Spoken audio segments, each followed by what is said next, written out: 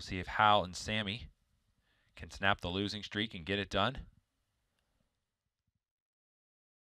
Meanwhile, backyard swagger at five to two, right beside to that one's left. It's post time for race number seven. Starting gate picking up speed. Pacers in line, and here they come.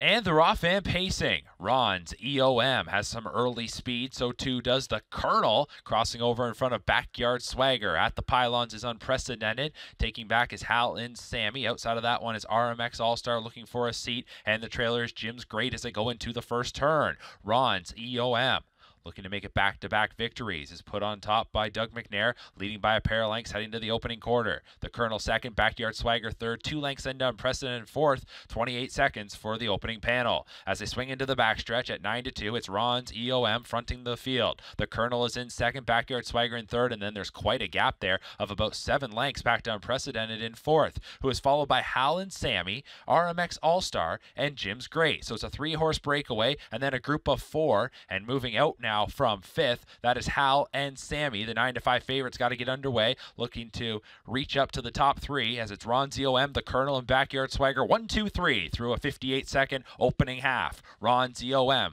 leading them into the far turn. The Colonel in second. Off the rail now is Backyard Swagger. That provides some cover for Hal and Sammy. On the outside, RMX All Stars up into fifth. Fading back is unprecedented. Going around that one is Jim's Great. Three quarters coming up next. Ron ZOM leading by a little more than a length length. Backyard swagger grinding away first up. The Colonel's been getting a good trip. On cover is Hal and Sammy. Three quarters is reached in 127 and 2. 29 and 2 third quarter off the turn and into the stretch. Ron's EOM turns them for home and looks to get the job done once again. Out of the two hole, here comes the Colonel. On the outside, Backyard Swagger. Hal and Sammy is racing in fourth. Less than an eighth of a mile to go. It's Ron's EOM with a lead of about three lengths. The Colonel is in second. Battle on for third between Hal and Sammy and Backyard Swagger, but it's Ron's EOM to go back to back.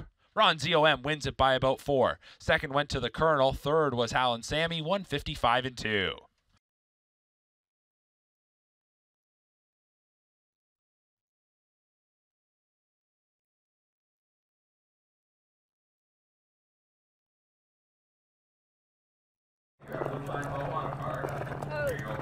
Alright guys, again